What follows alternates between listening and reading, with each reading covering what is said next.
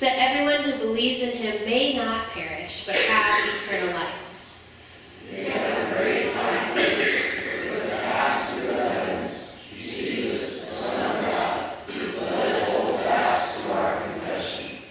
We have one who in every respect has been tested as we are, yet without sin. Let us therefore approach the throne of grace boldness, so that we may receive mercy and find grace to help in time of need. And would you join me in this prayer? Almighty God, you have built your church on the foundation of the apostles and prophets, Jesus Christ himself being the chief cornerstone. Join us together in unity of spirit by their teaching, that we may become a holy temple, acceptable to you, through Jesus Christ our Lord, who lives and reigns with you and the Holy Spirit, one God, now and forever. Amen. Amen. Cabin Fever Fest that was supposed to be last weekend has been rescheduled for next Sunday, February 10th, so a week from tonight. Um, if you can come, we still would love to have you come, but we'd love you to sign up again um, because some people won't be able to come and some new people can come, so we'd love for that. Um, that would be wonderful. It will be 5.30 to 8 in the fellowship hall, and you can sign up on the back of your welcome sheet. Pretty easy, right there. There are prizes for games and a photo booth. Don't miss that. Well, there you go. It's a great time to gather together. Um, there is going to be a blood drive held here in our fellowship hall uh, Thursday, February 28th from 2 to 6. So um, you can contact Allison in the office and get your prime time slot. Uh, point of view discussions are going to happen February 17th, 24th, 4th, and March 3rd. Jim Beatty um, put something in the circuit rider about this, and this is around the way forward conversation. So whether you have, uh, you know, have been following these conversations and know just what's happening, or you have no idea what's happening, you have a strong opinion, you are kind of on the fence, this is a good place for you to come to learn more and have conversations around compassion um, as we grow together and learn more about what's happening um, in the, the global church in the United Methodist Church. So February 17th, 24th, and March 3rd from 6.30 to 8.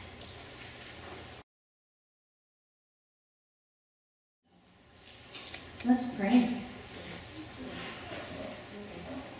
Most holy God, we come before you with a lot of celebrations, um, and we thank you for that. We thank you for the opportunity just to praise your holy name. We thank you for um, the spirituals that came from our African um, brothers and sisters. We thank you, Lord, um, for those gifts that we um, take part in. Lord, we thank you for the work that you've done through the wrestling team. And um, Lord, we ask for safe travel and, and good competition, um, good fun on Tuesday. We thank you for the great work of the speech contest and many students who have put a lot of energy forth, and teachers and coaches as well.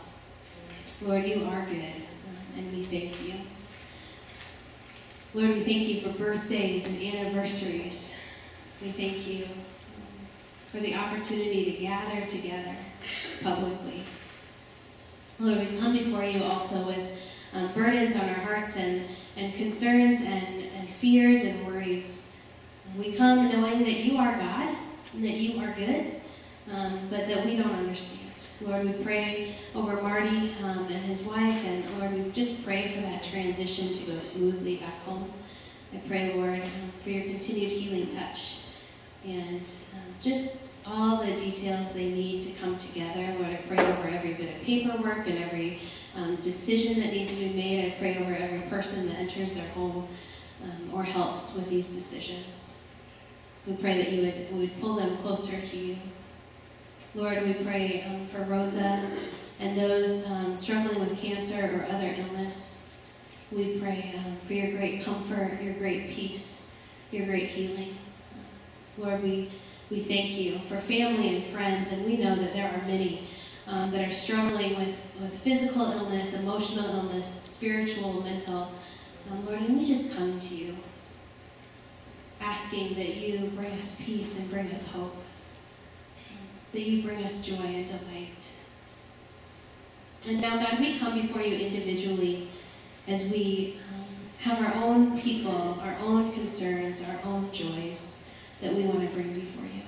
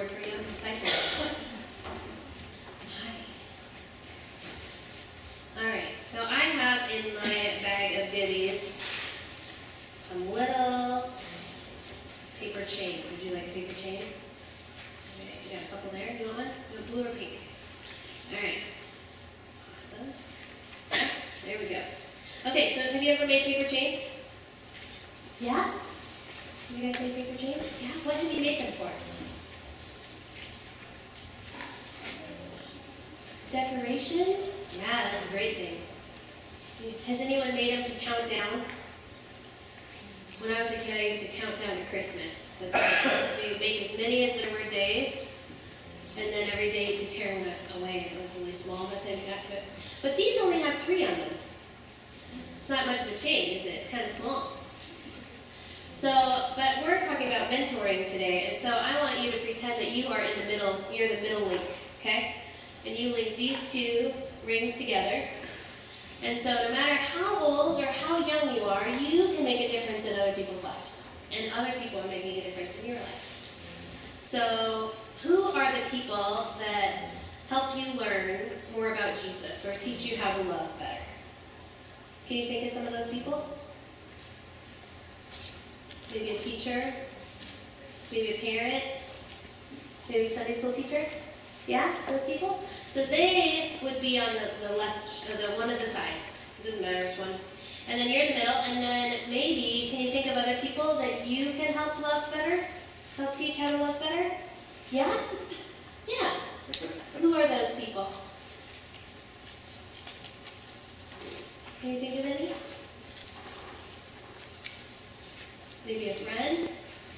Maybe someone in preschool? Someone in school? Preschool? Yeah, maybe a classmate? Maybe um, a friend or a sibling? You guys siblings? You guys have siblings? You're gonna have a sibling? Yeah. So we have this great opportunity because Jesus teaches us. Um, he says, "Let all the children come to me," and He wants us all to come to Him and learn. And He wants to teach us through other people, and then we can teach others what we've learned. No matter how old or young you are, you can make a great big difference in the world. Did you know that? That's awesome. All right, will you pray with me?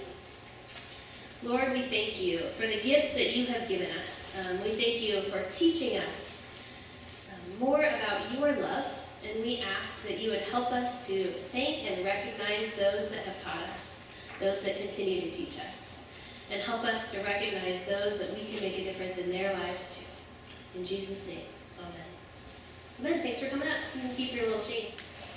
Our scripture reading for today is 2 Kings chapter 2 verses 1 through 12. Now, when the Lord was about to take Elijah up to heaven by a whirlwind, Elijah and Elisha were on their way to Gilgal, from Gilgal. Elijah said to Elisha, Stay here, for the Lord has sent me as far as Bethel. But Elisha said, As the Lord lives, and as you yourself live, I will not leave you. So they went down to Bethel. The company of prophets who were in Bethel came out to Elisha and said to him, do you know that today the Lord will take your master away from you? And he said, Yes, I know. Keep silent. Elijah said to him, Elisha, stay here, for the Lord has sent me to Jericho. But he said, As the Lord lives, and as you yourself live, I will not leave you. So they came to Jericho. The company of prophets who were at Jericho drew near to Elisha and said to him, Do you know that today the Lord will take your master away from you? And he answered, Yes, I know. Be silent. Then Elijah said to him, Stay here, for the Lord has sent me to Jordan. But he said, As the Lord lives and as you yourself live, I will not leave you. So the two of them went on. Fifty men of the company of prophets also went and stood at some distance from them as they both were standing by the Jordan. Then Elijah took his mantle and rolled it up and struck the water. The water was parted to the one side and to the other until the two of them crossed on dry land. When they had crossed, Elijah said to Elisha, Tell me what I may do for you before I am taken from you. Elisha said, Please let me inherit a double share of your spirit. He responded, You have asked a hard thing. Yet if you see me as I am taken from you, it will be granted you. If not, it will not. As they continued walking and talking, a chariot of fire and horses of fire separated the two of them, and Elijah ascended in a whirlwind into heaven. Elisha kept watching and crying out, Father, Father, the chariots of Israel and its horsemen. But when he could no longer see him, he grasped his own clothes and tore them in two pieces. This is the word of God for the people of God, and all God's people say, Amen. So I really love art, and I would love to be a great artist, but I'm not. I can paint, you know, if I get a canvas out, I'll paint and I'll do what I can to make it look pretty, or um, I love to do pottery, but I'm really not an artist, and I will never, ever be famous for my artwork. In fact, somebody someday will throw it all away and say, what was she thinking? But when I was in Romania, I love I love looking at art and I love looking at paintings. And when I was in Romania, we had the opportunity to go to an Eastern, uh, not, not Eastern, a Romanian Orthodox cathedral. And everywhere you look within is painted. It's a big, big mural of a whole bunch of different pictures. And you look up and you see Jesus, and around the four corners you see the four gospel writers, the, a depiction of them. And then across the far wall, there's the 12 apostles. And everywhere you look, um, there is someone, a biblical character or a biblical story, um, or perhaps a saint that they, um, they recognize as saints in their church. It is an absolutely magnificent sight. And I could have spent a week just standing in that place, walking around and looking at all the art. Although creating it is not my best. Um, but there are some really wonderful artists in the world. And um, you may have heard of Donatello, um, one of the great, greatest artists of the 15th century, who cr created this beautiful sculpture of David. You may have also heard of a man named Michelangelo, who was famous in the 16th century um, for a very similar uh, sculpture from the same war, one on either end of the war, um, or the ceiling of the Sistine Chapel.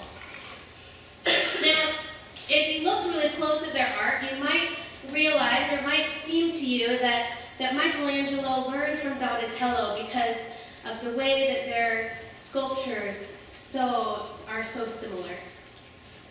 However, Donatello died nine years before Michelangelo was born.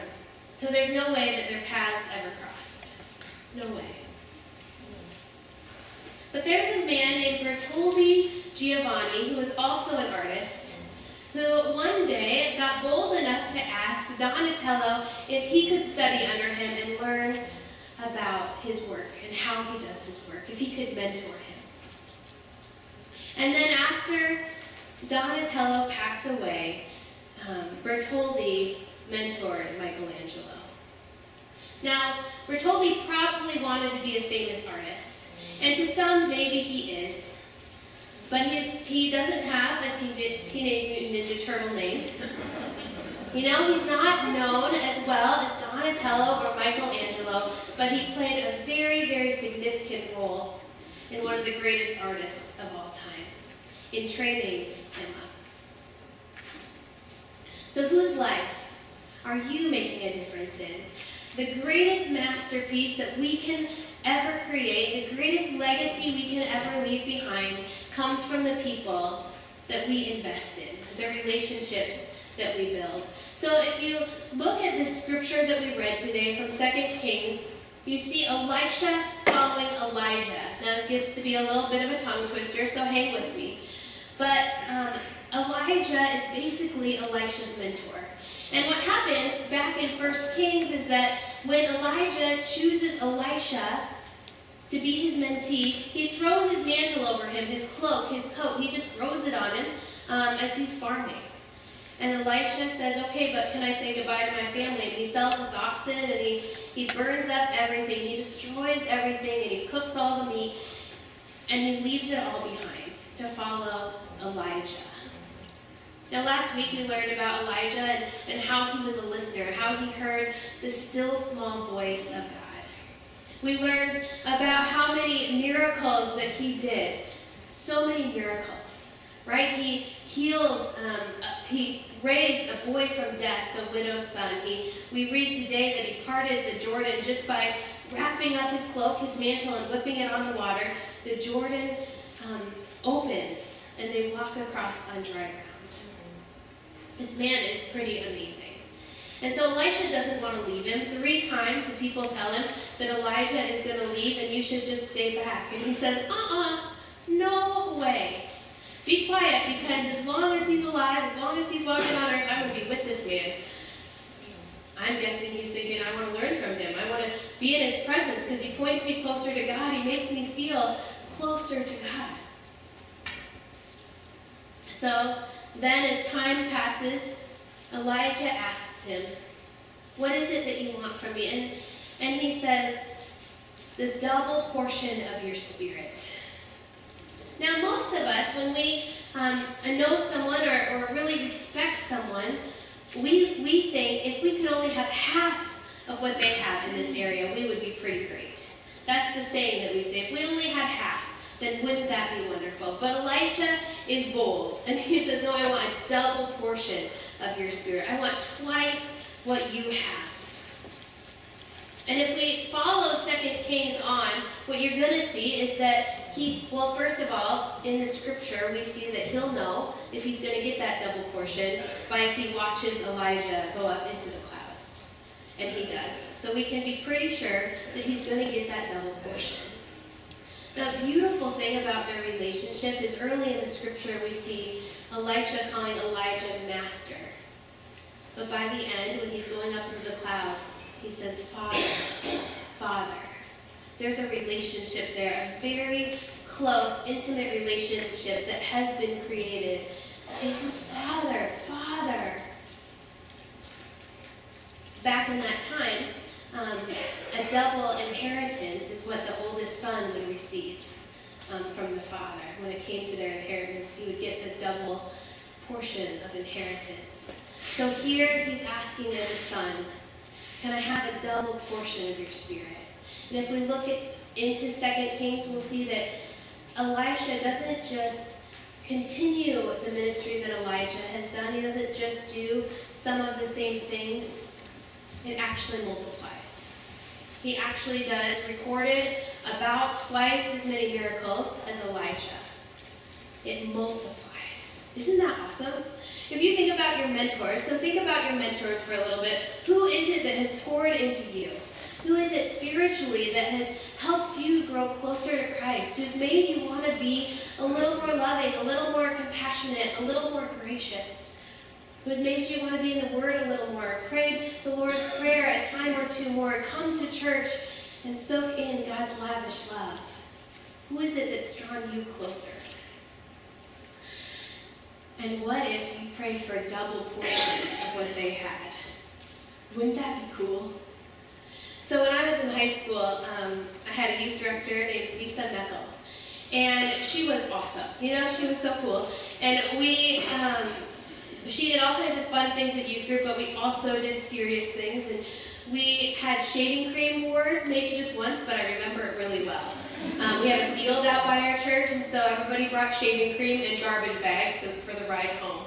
And um, it was a mess, and I don't recommend it, but it was really fun. We also watched The Matrix, um, and probably other movies, but I remember The Matrix, that dates me a little bit, and um, looked at how the Trinity comes through in movies. How can we learn about God through pop culture? Um, she also took me to lunch. She cared enough about me as an individual to invest in my life and to hear what was going on in my world and to spend time in prayer for me. Beyond that, um, we had, my senior year, we had a, a, senior Sunday. So it was a youth Sunday, basically, but the seniors took um, the lead in the worship service. And I had an opportunity, she chose me and asked me if I would um, give part of the sermon. So it was the first sermon that I ever preached on senior Sunday. She played a very significant role in my life.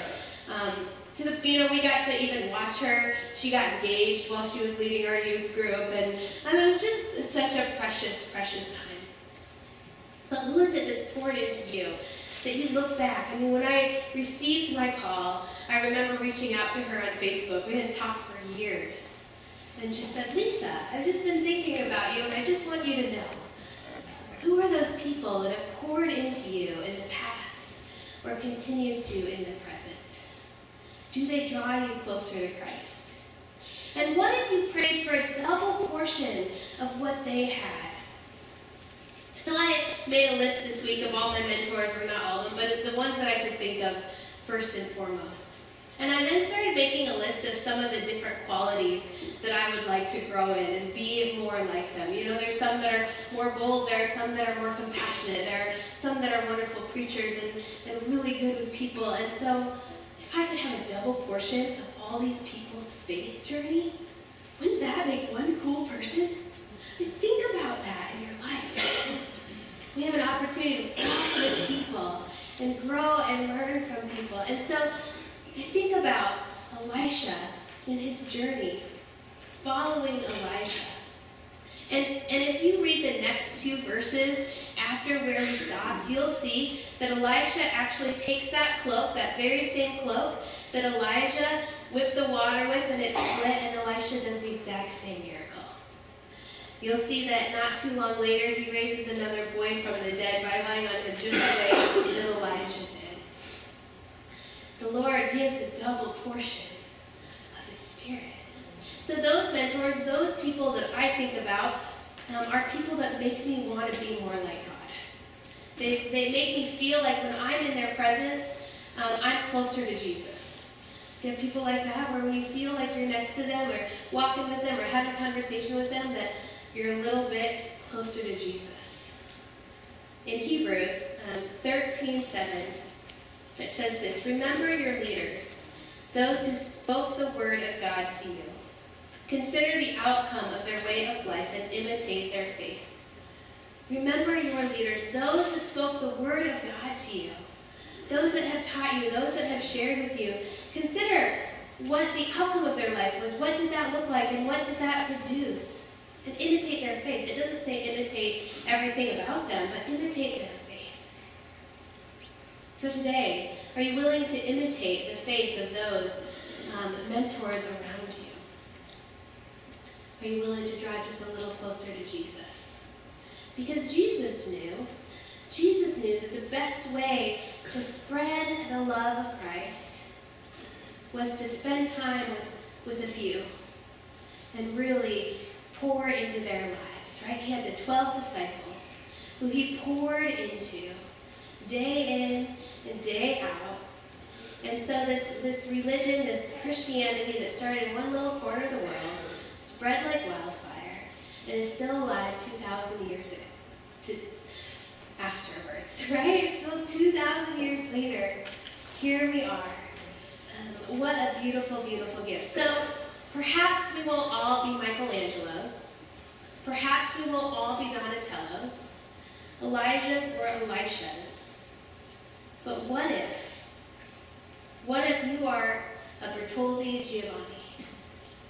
What if you are that link between two wonderful people? And without that link, that person won't grow. That person won't get to where they're going. Are you willing to be the link? Because it's the greatest thing you can do. Would you pray with me? Most holy and gracious God, we thank you and praise your mighty name for the gifts that you have given us. Oh, we thank you, Lord.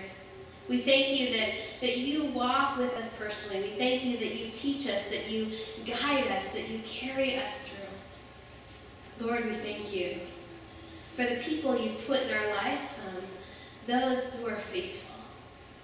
And we ask, Lord, that you would teach us to imitate their faith. Lord, we pray that if you are laying people on hearts and minds right now, that you would give them the boldness to walk up to or call or text the person and say, hey, would you be my mentor? Lord, give us that strength.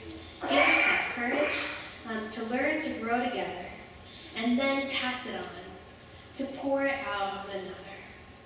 Lord, we thank you for all that you are doing and all that you continue to do. In Jesus' name, amen.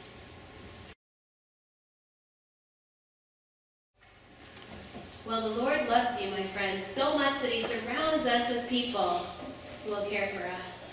You've got a whole bunch of them here. If you don't feel it or don't know it, there's a bunch of them in this room.